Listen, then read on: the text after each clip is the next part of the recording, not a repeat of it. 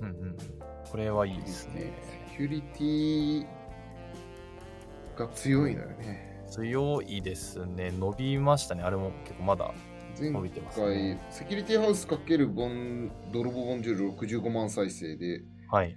セキュリティ刑務所はい。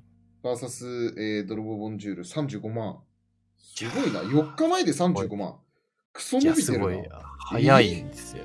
早いっすね、やっまあちょっと背景にはですね、そのセキュリティ、なんだっけな、刑務所ぱ。はい。を上げた次の日に、マイゼンさんも同じタイトルであセキュリティ刑務所をつあの上げたタイミングが重なりまして、へえ。はい、多分関連とかでもあありがとうございますと。タイミングがバッチリ、バはいッチリ。それもあったありがてえ。。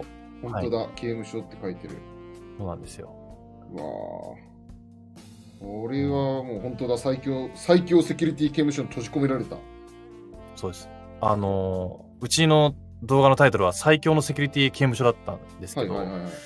あのー編集長の TP が、その、マイゼンさんのタイトルを見て脳を抜くという、最強、合わせにそれはもう、あのうん、大事な戦術ですからね。すみません、ちょっと関連乗らせてくださいと。大事な、ははい、ありがとうございます。い、そうなんです。ありがとうございます。はい、そういうことですから。そうそれはもう大事ですよ、そういう。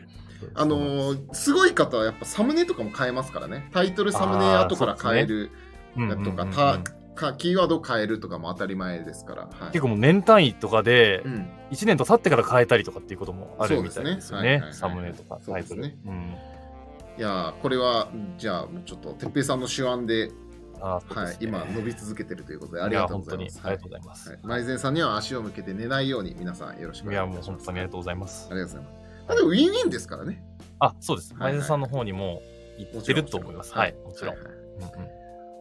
ではでは、ちょっと前前さんにおんぶに抱っこではい、いきましょう。はい。ありがたいです。続きまして、